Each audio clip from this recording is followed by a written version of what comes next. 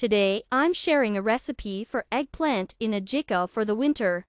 It turns out a delicious, slightly piquant billet. I cook it every year, I really like it. Eggplants are best used young, without seeds. I recommend to try it. Prepare all the vegetables. Clean, remove the seeds, wash the tomatoes, cut out the stalks.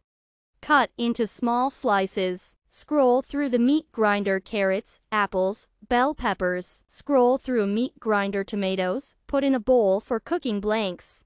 Add the rolled vegetables and garlic passed through the press. Add vegetable oil, vinegar, sugar, salt, pepper, and dill. Mix. Put the bowl on the fire, bring to a boil.